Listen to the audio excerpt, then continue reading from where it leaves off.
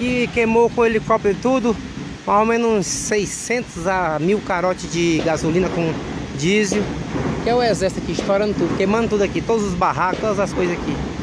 Que é o era. difícil demais a vida aqui, não é fácil. Ao menos assim uns 300 metros de fogo.